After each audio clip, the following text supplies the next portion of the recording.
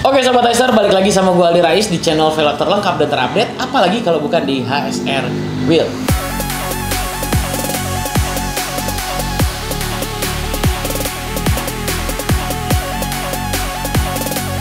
Nah di episode kali ini gue udah sama Om Andre lagi.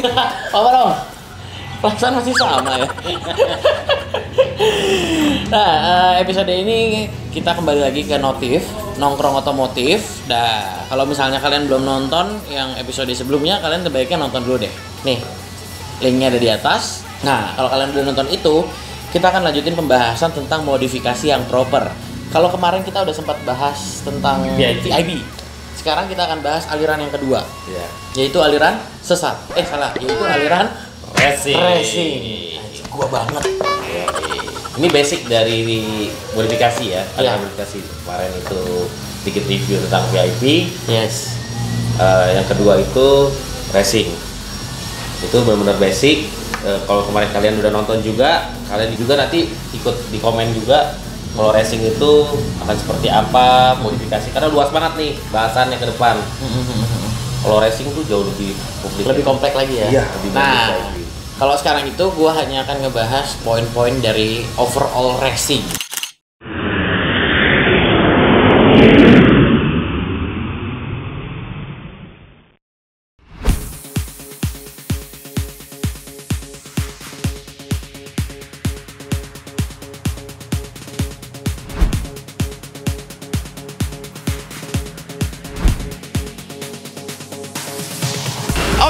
sekarang gue lagi ada di salah satu toko TKB Group Indonesia yang ada di daerah Pekayon, Bekasi. Nama tokonya Stance Motorsport.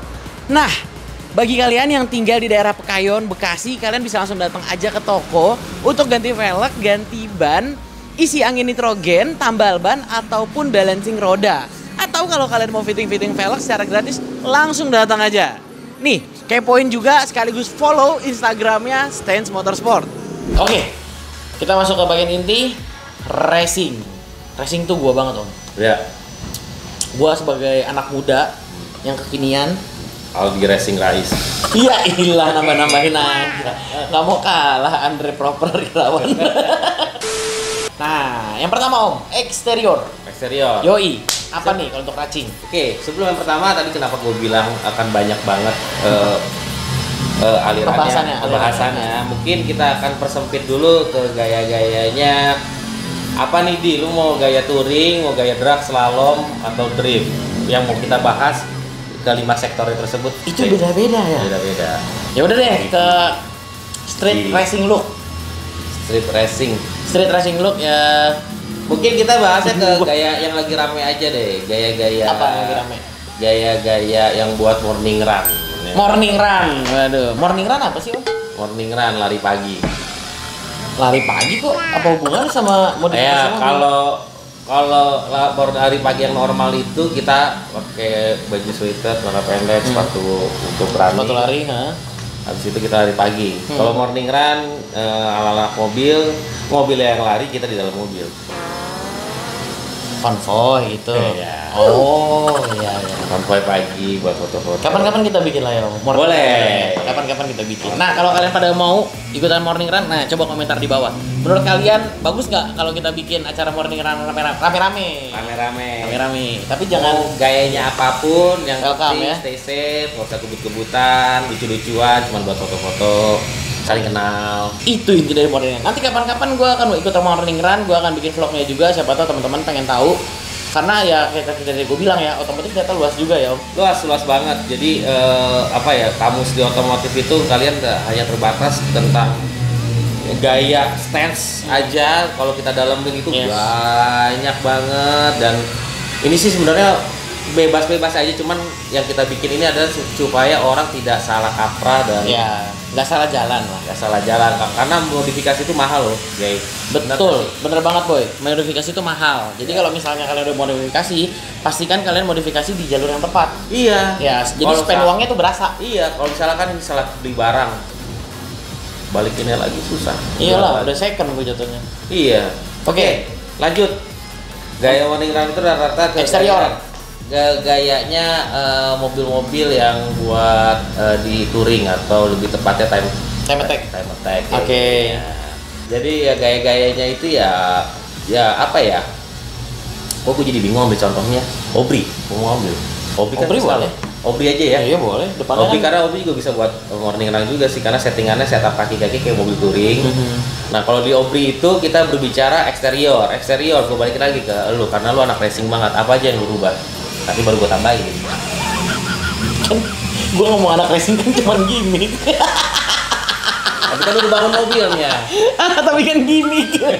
ya udah, apa ya kalau Eksterior. Lu sebutin aja. exterior dari body Obri. kit, Nah. bumper gue ganti. Oh. Saya Body kit bangun di mana? Body kit itu gue punya temen om. Dia bengkelnya bagus juga. Maksudnya bagus lah untuk modif-modif mobil. Namanya itu ini Instagramnya nih. Nah MDA X Garuda Motorsport tuh. Wah, tuh bagus tuh. Dia sering ngasih gue cuan juga. Belum sih, tapi mudah-mudahan setelah video ini tayang dia ngasih gue. Next, next.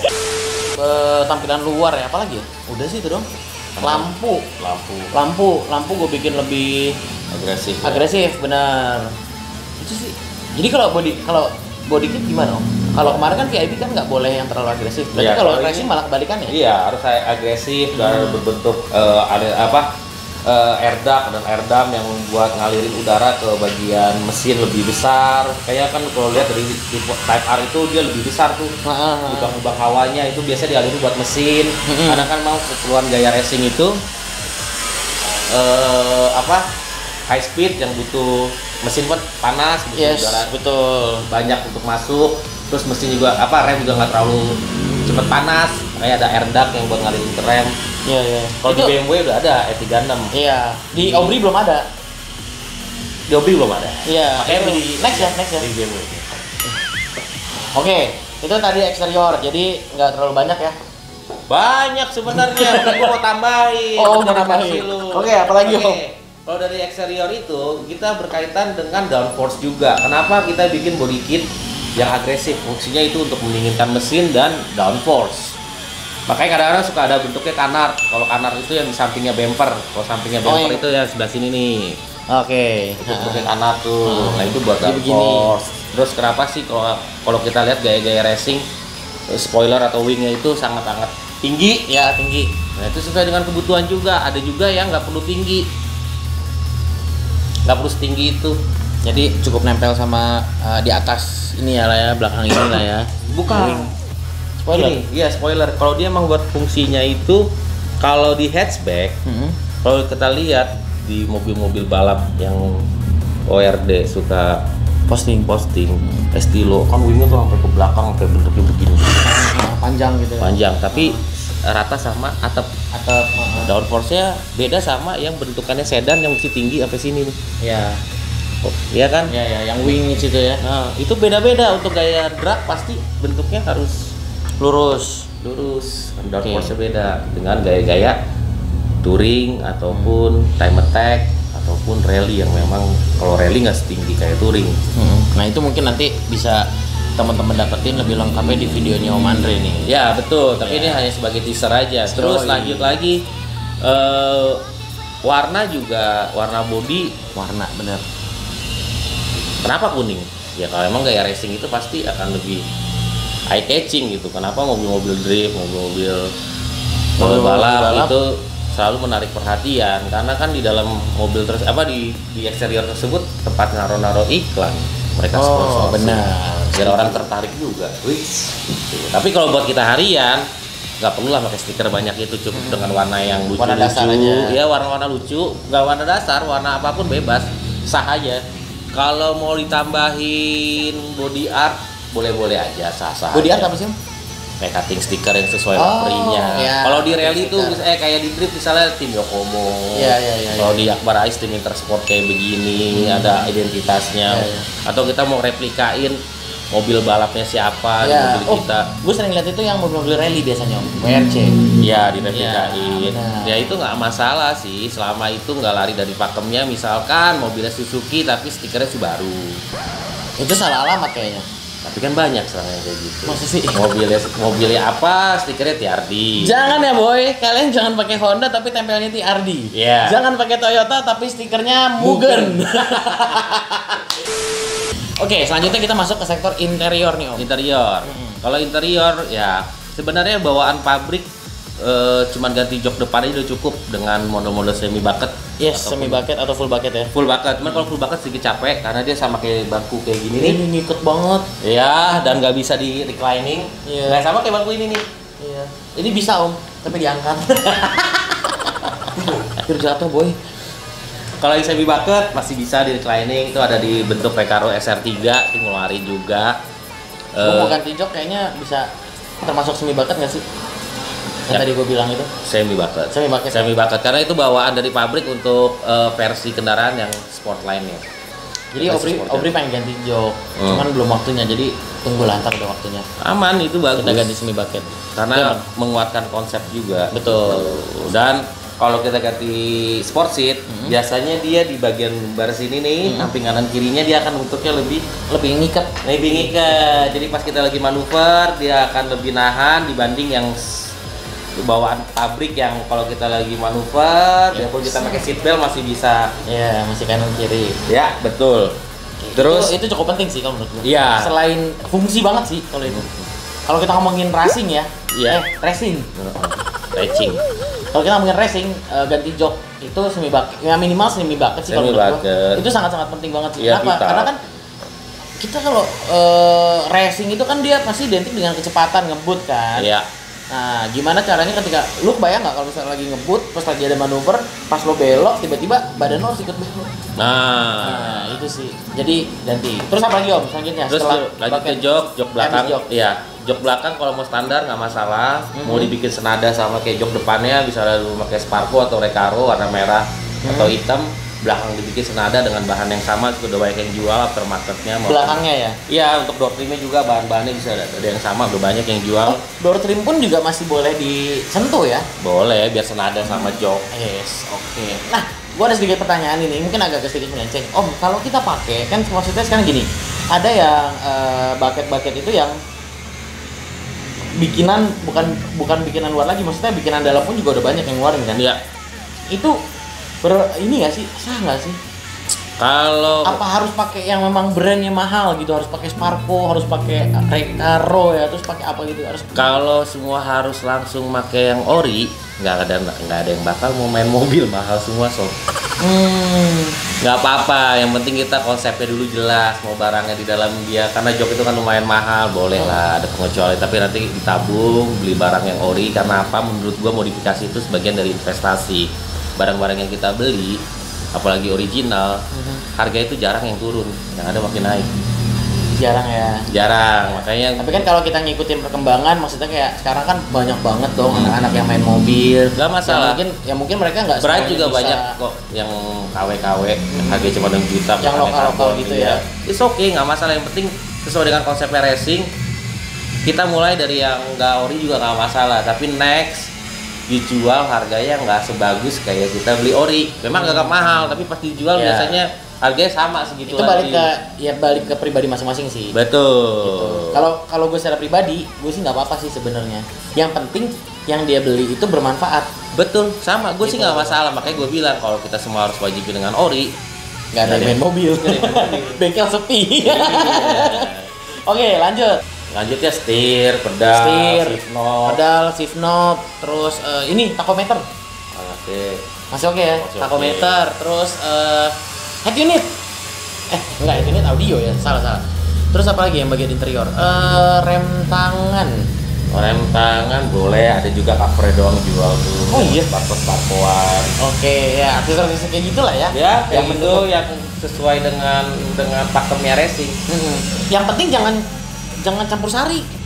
Apa boleh ya? Gak tau deh. Kalau Campur sari maksudnya? maksudnya gue tuh bener-bener ya kayak toko pindah aja gitu om semuanya dipasangin tapi kayak nggak ada temanya gitu misalnya kayak jok depan misalnya pakai eh, warnanya merah belakang warna hitam terus setirnya pakai apa terus knobnya pakai apa gitu ya Eh, ya bisa sih. Cuman kan kalau kalau berbicara setir, setir mau pakai Sparko, Momo, WMP sama aja. Terus Nardi satu juga boleh. Tadi yang kelewat tuh seatbelt tau. Dari tadi gue mikir apa ya gue. belum kan masih interior ini Iya, seatbelt Ah. itu bagian dari jok. oke juga. seatbelt juga seatbelt harus ganti yang empat titik gitu Ya kalau mau biar konsepnya dapat, ya pakai empat titik Takata udah keluarin, terus Sparko juga ada. Takata atau Sparko ya Warranty, empat. Screwed juga ada. agak-agak bete sih sebenarnya gua kalau pakai gitu. Oh maksudnya kalau untuk harian ya? Iya, karena dia- secara pribadi kayak harus ngikat gitu banget apalagi gua kurus gitu kan?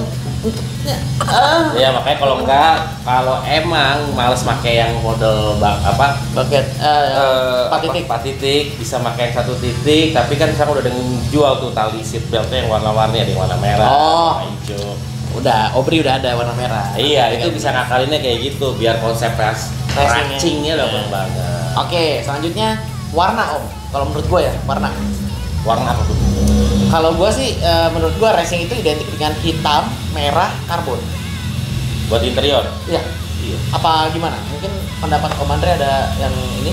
Ya karbon juga bisa kita juga mainin warnanya. Mau merah kuning. Karbon? Iya. karbon ada yang warna juga. Iya iya iya, iya. nah, sesuai dengan konsepnya juga nggak masalah. Selama masih sesuai konsep nggak apa-apa. Iya. Jadi baik lagi sih boy. Apa pun yang kalian kalian modif, kalian itu ya harus benar-benar tentuin dulu. Kalian mau bangun mobilnya konsepnya apa? Iya. Mobilnya apa? Konsepnya apa? Seperti apa? Baru nanti kalian bisa jabarin nih 5 poin yang kita bicarakan saat ini. iya Oke, selanjutnya apa lagi om? Eh, dari segi interior, kayak udah ya. Lagi. Sunroof bukan hal yang penting kan? nah ya Sunroof enggak. Eh, spi, spion luar ya? spion luar eksterior Eksterior. Spion butuh nggak? kelewat Kelewat ya? Tuh. ada spion yang buat lightweight itu kayak Ganador Oh, oke. Tapi ya oke lah itu juga. Eh, interior berarti udah nih. Berarti gua rangkumin lagi. Interior itu pertama ada tadi ada jok, eh, jok bucket atau semi bucket, lalu ada seat beltnya 4 titik atau seat belt yang itu tiga titik bukan sih? Mana? Satu, dua, tiga kan? Iya. Tiga titik, tapi dirubah warnanya. ya Kayak misalnya Opri nih, gua mau ganti warna merah. Terus ada eh, ketiga itu bisa ganti setir, terus bisa ganti knob. Knob itu yang di persneling gigi kan. Knob, terus bisa pakai takometer. Terus jok belakang, terus door trim. Udah sih itu doang ya kalau untuk interior doang ya. iya Sama warna. Warnanya ya jangan warna kuning. Eh, kuning masih enggak ya? Kayaknya enggak di menurut Enggak. Hitam, merah, ya karbon. Tiga itulah. ya, Oke, selanjutnya kita akan masuk ke undercarriage nih. banyak Yang pertama pasti coilover. Coilover ya kalau sekarang sih kebanyakan emang pada nyebrang sih ada yang mau pakai air cup Hah, air cup? Air cup apa nih? eh, air suspension atau Airsus tapi coilover. ya pakai cup ada itu beda lagi Oh, beda lagi. coilover beda lagi air cup juga beda lagi kalau Air air cup itu bukan balon tapi bentuknya kayak cup besi gitu Oh. Iya. Tapi Lu, kayak lu, lu tanya dong sama yang ahlinya kaki-kaki ada nggak lu? Ada, ada. Ada. Nanti coba. Iya, air cup tuh ada. Nah, Eh, karena eh, yang pakai gaya-gaya sekarang tuh yang F35 semua yang pakai pendem, RWB semua segala macem rata-rata daripada mereka pakai air set, pakai air cup jadi tetap dapat stability-nya juga Tapi naik turun juga. naik turun juga Oke, air cup. Terus Iya. kedua bisa coilover. coilover, coilover sih paling ajib Paling ajib Nah, sih. paling Nah, ajib nah, ini pun juga kalian sebenarnya nggak perlu beli baru sih. nggak perlu Kalau misalnya ada yang kalian bisa, bisa beli second dan selama yang barangnya masih bagus sih sebenarnya nggak apa-apa kalian pakai. Kayak gua coilover untuk Obri itu kita nggak beli baru kok. Kita Iya. beli second kok. Tapi ya memang barangnya masih oke, masih bagus. Tinggal kalian makainya dan merawatnya dengan benar. ya Terus kedua, terus coilover, habis coilover apa lagi? rem Rem, BBK dong. Ya kan? Nih, BBK HSR udah ada boy. Kalian klik link di bawah tuh kalau misalnya mau pesen ya kan kalau nggak DM langsung ke Instagramnya. @hsrwheel. nah selanjutnya velg nih om. Hmm. Kalau velg itu mendingan gimana? Mendingan sih kalau buat velg kita lebih saranin rata karena buat FWD juga perlunya rata FWD rata. AWD four wheel drive eh, gak rata Oh, rata juga ya? ya rata harus rata Tapi kayaknya kalau RWD banyak yang lebih milih belang deh. AWD four wheel drive AWD four wheel drive ya. Kalau denger gue. Siap boy, gue kurang ngopi kayaknya. Terus minum dulu. kalau buat yang RWD boleh belah Nah, kalau untuk modelnya nih kalau menurut gua ya, itu kayak lebih banyak yang palang-palang gitu, Om. nggak semuanya sih. Karena kat- katanya nih, kalau yang palang-palang itu dia sirkulasi udaranya kan kalau eh, ngerem lagi dalam keadaan cepet kan pasti panas tuh Iya. si disc brake-nya kan si ininya. Nah itu kenapa dia dibikin jarang-jarang? Supaya angin tuh masuk jadi adem. Betul. Setuju? Ya kalau perlu kurang adem pasang dipasang. Oke selanjutnya apa? Eh, terus ban. ban Ban, ban cari yang Iya. semi slick. Ya, ban Acelera 651. Beuh, cakep banget boy itu. Terus apa lagi ya untuk untuk undercarriage itu apa lagi? Stabilizer kayak kalau tahu Oh, tuh ya. stabilizer. Ya, strut bar, underbrace. strut bar, bener bener bener. Semua segala macamnya. Kalau yang di atas itu yang di atas kap mesin kan ada tuh yang biasanya. Iya, strut bar. bar. Itu strut bar yang yang maksud itu. Iya. Itu untuk menahan kaki-kaki soalnya. ya? Iya, untuk stabilizer. Bener, bener, bener. Kan kalau anak-anak Honda kan kolongnya tuh fix. Oh, apalah semua. Emang iya? Iya. Obri enggak? Pasang dong. Belum ada yang endorse. Enak ya kayak kontennya ini full of endorse Full of ya. endorse. Iya. Terus eh, Tapi pengen sih pasang itu. So, itu kan katanya supaya bikin eh, posisi mobil tuh seim- lebih seimbang ya. Ya, terus tadi berbicara lagi tadi buat yang suspensi sebenarnya belum selesai kalau emang kita pakai coilover Mhm. eh, ataupun air cup, Mhm. tetap camber kit jangan lupa. Chamber kit Ya. ya. ya. Cuman kalau chamber itu kayaknya kalau untuk racing nggak boleh seagresif untuk VIP kali. Ah, tergantung kalau perluannya. Kalau untuk gaya-gaya touring sebenarnya sama selama Warning ram dong, warning, warning ram. sih ya, Ya. terlalu agresif lah. Min 3 lah ya. Maksimal. Maksimal min 3. Iya, biar enak dikul. Obri masih min 2 nih. Gue kayak pengen upgrade ke min 3. Iya, cuman kalau kalau minnya kebanyakan sayangnya ban makan sebelah. Min 3 masih kebanyakan nggak? Om? Kalau buat daily use kayak lu sekarang mesti Mhm. ke sana ke sini ke sini itu sih pasti akan lebih cepet umur bannya makan sebelah. Bisa dirotasi dong berarti. Kan ada kalau buat semi stick ada inside outside beda, nggak bisa. Wah nggak proper ini. Oh nggak apa-apa. A- Acelera tuh baik banget. Iya. Acelera tuh benar-benar ban yang uh, udah sampai ke 50 negara. Om, Hmm. dia tuh baik uh, selain bagus banget, Hmm. nge-grip banget, udah gitu emang ukurannya banyak banget. Nggak percaya. Serius? Belum, belum kepake Bu, ya kan kalau mau pakai ukuran ban Acelera Iya. itu banyak banget. Iya. Bahkan bisa dibilang ukuran ban yang paling lengkap itu adanya di Acelera. Hmm. Dari ring berapa ke ring berapa jelas? Dari ring 14 sampai ring 22, 24 juga ada. 24 juga ada. Iya. Tuh Acelera. Oh. Makanya toh, jangan lupa endorse lagi. Oke. Dari ban, apalagi tadi? Terus lanjut lagi kita ke baut-baut untuk baut roda pasti kita ganti yang modelnya lebih Lebih racing ya. Lebih racing yang kalau kalau kita buat high speed pasti cari yang beratnya lebih panjang makanya kalau baut-baut roda yang gaya-gaya velg-velg racing street Mhm. racing itu bautnya lebih panjang lebih kuat dari velgnya itu ada fungsinya Iya, biar dia ngegripnya lagi. iya biar dia ngegripnya lebih panjang Gue pendek kok. Nggak sampai keluar banget. iya itu Hmm. itu beda karena kan harusnya lu kalau model kalau BMW tahu kan Tahu. modelnya kan model Panjang, panjang model tanam. tanam kalau kan modelnya eh Tanam model juga. tancap Tancap. Kalau kalau BMW nggak dong Eropa tancap Kalau Eropa kan lobang ketemu lobang, ya kan? Baru ini masuk. Kalau gua udah mobil tanam, jadi nggak bisa di ini. Tapi kemarin udah gua- ganti yang panjang Udah gua ganti, gua tambahin 6 cm.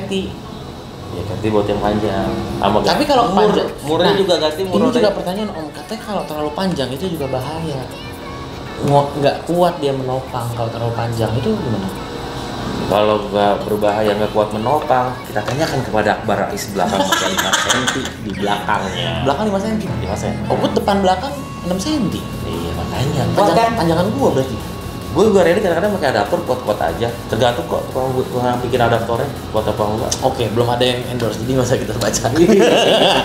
Oke, selanjutnya eh, kita masuk bagi, eh, oh, no, gua kasih highlight dulu di undercarriage itu ada yang pertama ada eh, kaki suspensi, yaitu coilover atau apa tadi nom? Air cup ya. Iya. Air cup. Terus eh, kedua itu ada di stabilizer atau ada di mau eh, apa sih namanya?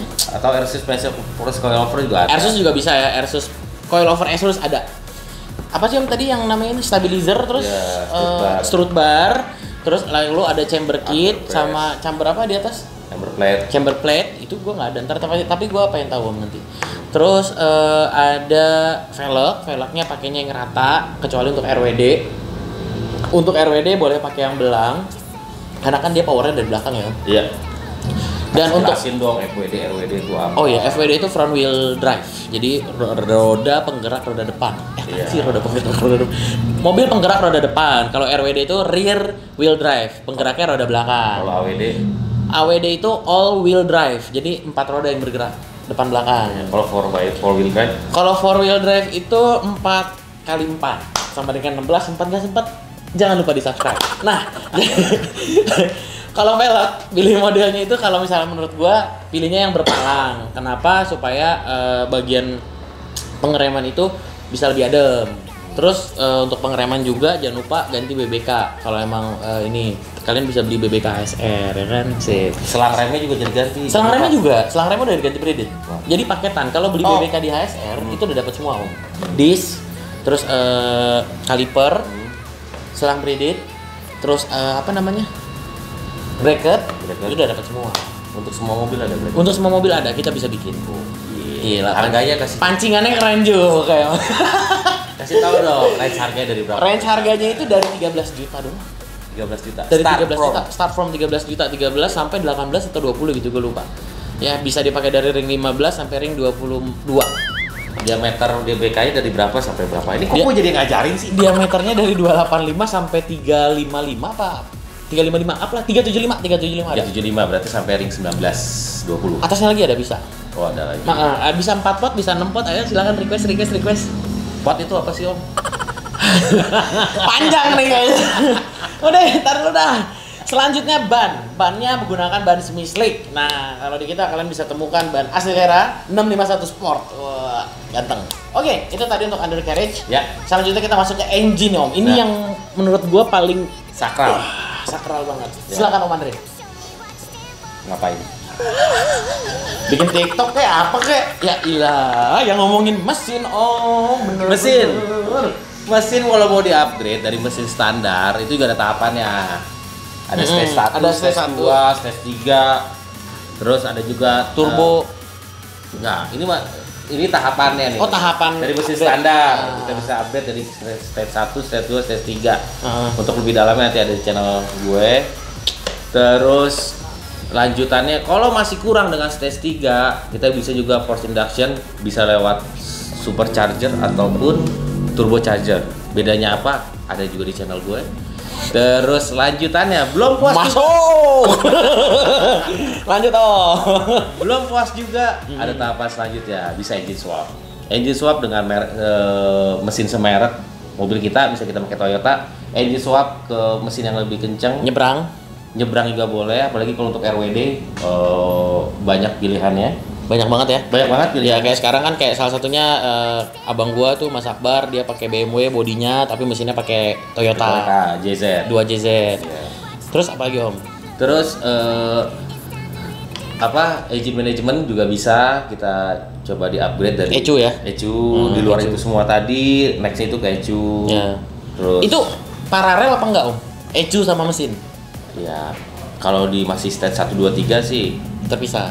Bisa bisa terpisah cuman kalau di next nextnya sih Hmm. itu udah hukumnya Paralel ya. eh, iya ya. wajib fardu ain Fardu Ain. Iya. Karena kan kalau ECU kan yang gue tahu ini, itu ada ECU standar, terus dia naik ke Dastek, Mm-mm. terus naik ke Haltech ya. Mm-mm. Habis itu naik apa lagi satu? Om?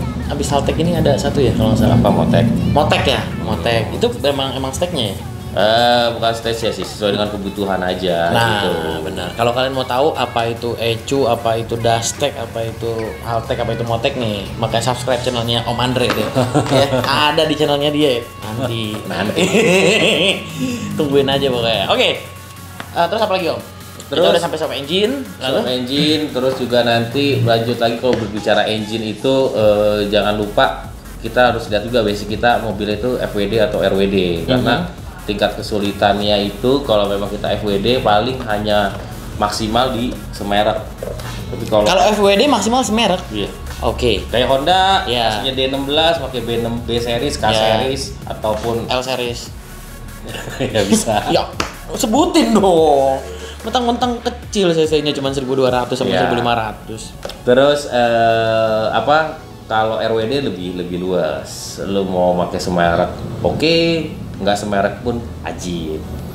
Oke, itu kalau dari segi engine. Ya. Yang pasti eh, exhaust juga harus dimaksimalkan. Nah. Kalau lu bilang kemarin VIP, ya udahlah ganti ujung aja juga nggak apa-apa. Iya. Kalau menurut gua kalau di racing, lo benar-benar harus mainnya full set Yes, dari downpipe sampai ke muffler belakang.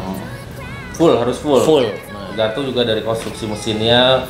Dia ada yang konstruksinya inline ataupun V ataupun Hmm. W ataupun dia juga Nah ini ini ini gue udah mulai nggak ngerti nih konstruksi mesin VW gitu gitu. Enggak gini, kalau kalau mesin inline itu kayak kita eh, 4 silinder, 6 silinder inline itu mesin segaris. segaris di atasnya itu biasanya. ya? Iya, mesinnya segaris. Leader itu Kalau yang tarikan depan bentuknya biasanya melintang nih di mesin. 421 gitu ya? 421 atau 41 Ah. ganti leadernya ataupun kayak Jazz uh, atau Brio yang mesin L series kan dia cuma pakai daun pipe doang Iya, ganti iya, sebagai iya. leader. Nah ini untuk pembahasan eh, exhaust mungkin nanti gua akan ngobrol-ngobrol sama ahlinya. Ahlinya ahli Haji Odi Sadikin. ORD exhaust. Kenapa? Eh, salah satu alasan gue make ORD exhaust itu adalah karena memang ketika pertama kali gue ngobrol om sama Pak Haji Odi itu memang bu- bukan yang benar-benar cuman ganti exhaust untuk ganti suara, bukan.